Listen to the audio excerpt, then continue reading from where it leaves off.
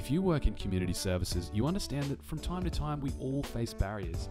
Whether it's barriers to getting a job, accessing adequate housing, getting professional help, or just doing the everyday stuff. Over the next five years, the health and social assistance industry will be the fastest growing industry in the state, adding around 70,000 new jobs to the Victorian economy.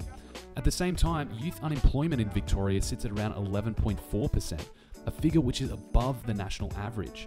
In the west sits Bendigo, where youth unemployment sits at 18%, one of the highest in the country. Thousands of young people are reliant on a system which struggles to find them work.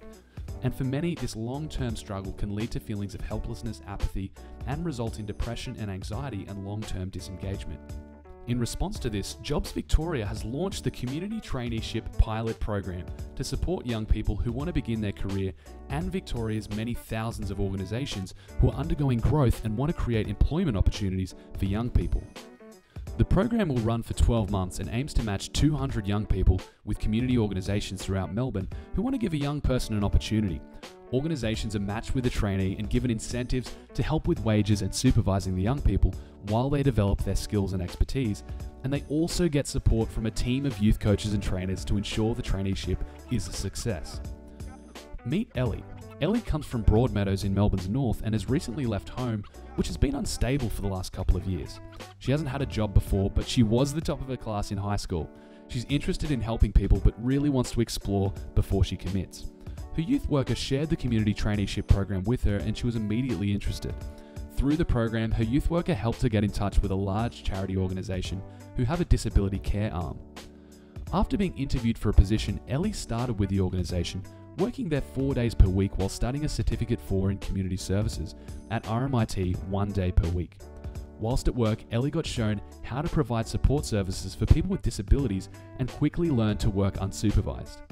At the beginning of the program, Ellie didn't have much money and she was unsure if she could pay for books for study or even transport to and from her new job.